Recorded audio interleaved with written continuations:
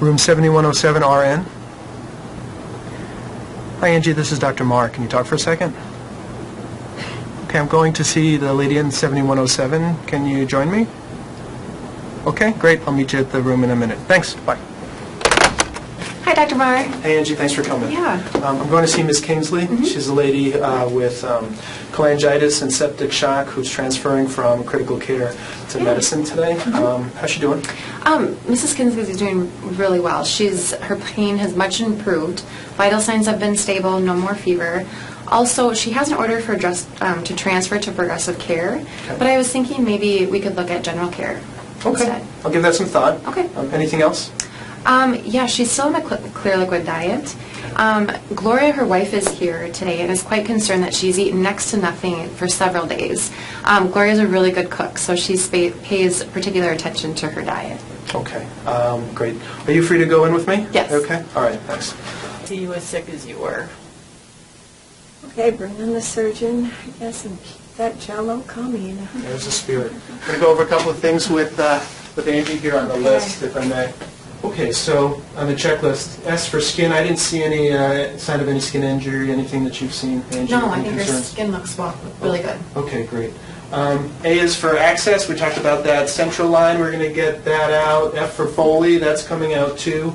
Um, E for eating and elimination, um, no problems with diarrhea, constipation, and we hopefully will be eating, getting you to eat later. Um, And for T, we've got a few things. One is um, tethers. Um, You've had, uh, you've still got this monitor on your heart. I think that's been okay.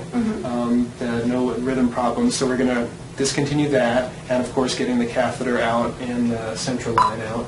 Um, Also for, um, for therapies, do you think, uh, do you think Carol needs any physical therapy or any other therapies? No, I think Carol's been getting out of bed really well on her own, so I think we, if anything were to change, I'll let you know, but I think she's okay for now.